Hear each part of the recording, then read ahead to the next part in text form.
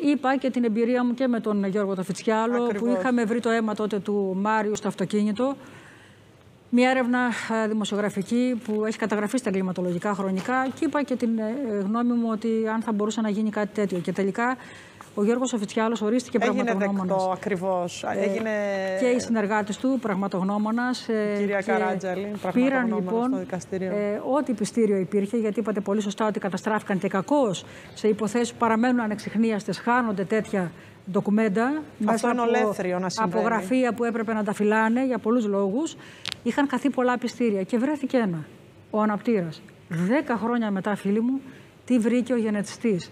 Λοιπόν, πώς έχει προχωρήσει η επιστημονική έρευνα, γι' αυτό πρέπει να βλέπουμε τα στοιχεία και τα, τα των εργαστηρίων και των εγκληματολογικών εργαστηρίων αλλά και των γενετιστών. Δηλαδή, εκεί που δεν μπορεί το ε, μάτι του αστυνόμου του ερευνητή να βρει κάτι, σου έρχονται τα εργαστήρια και σου συμπληρώνουν την έρευνα. Άρα, γιατί από την αρχή δεν τα εκμεταλλεύεσαι, ρε παιδί μου, να έχεις μια εικόνα και να δίνεις την απάντηση στην οικογένεια. Πολύ απλό, τόσο απλό είναι αυτό. Πάμε λοιπόν στα εργαστήρια του γενετιστή του Γιώργου Τεφιτσιάλου να δείτε τι βρήκε.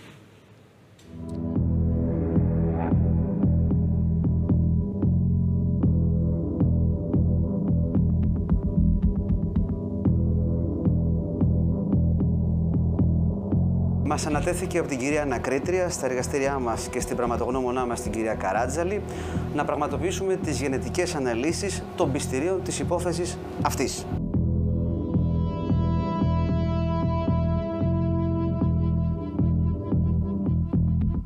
Διαπιστώσαμε ότι κάποια από τα πιστήρια τα οποία θα έπρεπε να πάρουμε είχαν καταστραφεί Κάποια δικαίως, όπως κάποια μπουκάλια τα οποία περιείχαν έφλεκτο υλικό και δεν μπορούσαν να παραμείνουν στα πιστήρια τόσα χρόνια.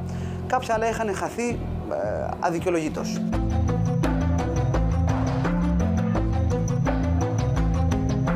Αυτό που καταφέραμε, παραλάβαμε τελικά σαν πιστήριο, ήταν ένας αναπτήρας.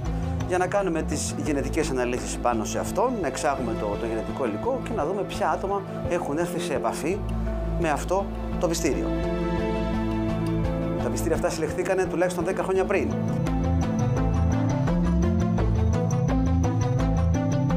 Πραγματοποίησαμε μία σειρά γενετικών ε, αναλύσεων, εφαρμόσαμε ειδικά πρωτόκολλα εξαγωγής και καθαρισμού του γενετικού υλικού, λόγω της δυσκολίας, όπως είπαμε, του πιστηρίου αυτού και πραγματοποίησαμε επαναληπτικές αναλύσεις έτσι ώστε να επικυρωθούν τα αποτελέσματα.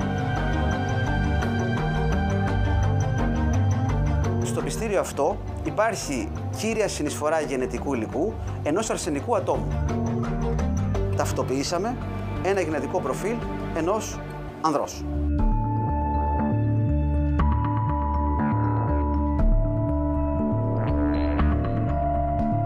Το πιστήριό μας, το οποίο αναλύθηκε, είναι το συγκεκριμένος ανατήρας και τα γενετικά προφίλ τα οποία α, απομονώσαμε είναι τα α, συγκεκριμένα. Πώς γνωρίζετε, για παράδειγμα, ότι ο, το DNA που βρήκατε είναι το DNA του δράστη και όχι ίσως κάποιου αστυνομικού που το περισυνέλεξε από τη σκηνή του εγκλήματος; Σε τέτοιου είδους πιστήρια ε, οι δειγματοληψίες επικεντρώνονται στην κεφαλή. Στο σημείο δηλαδή εδώ πέρα, στο οποίο έρχεται κάποιος με το δάχτυλό του σε επαφή για να ανοίξει τον αναπτήρα. Δεν ε, εστιάσαμε στο υπόλοιπο σώμα, εστιάσαμε σε μεγάλο βαθμό σε αυτό το σημείο. Έτσι ώστε να μην πιάσουμε κάποιον τυχαίο που το ακούμπησε, αλλά να πιάσουμε το άτομο το οποίο ή τα άτομα τα οποία το χρησιμοποίησαν.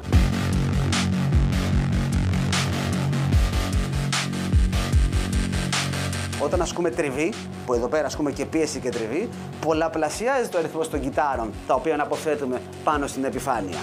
Γι' αυτό το λόγο και καταφέραμε και βρήκαμε και κατάλληλη ποσότητα γενετικού υλικού μετά από τόσα χρόνια. Εμείς ολοκληρώσαμε την εργασία και τη δουλειά μας και από εδώ και πέρα είναι δουλειά της δικαιοσύνης να προχωρήσει σε συγκριτικές μελέτες με το γενετικό υλικό που βρέθηκε στο πιστήριο αυτό για να δούμε σε ποιο άτομο ανήκει.